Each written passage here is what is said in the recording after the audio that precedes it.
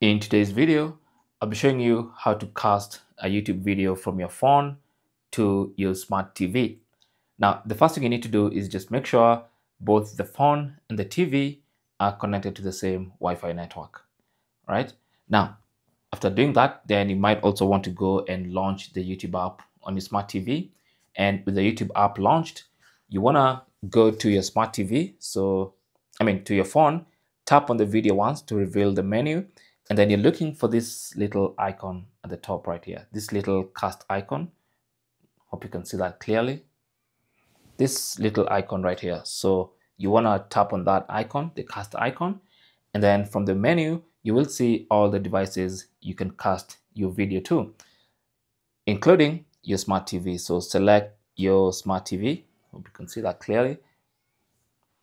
And once you select your smart TV, you should see new device connected. And now you can see the video on the TV. Okay. So from here, you can even uh, take your TV's remote and continue playing from there. Okay. So that is basically how to cast a YouTube video from your phone to your TV. Thanks for watching and good luck.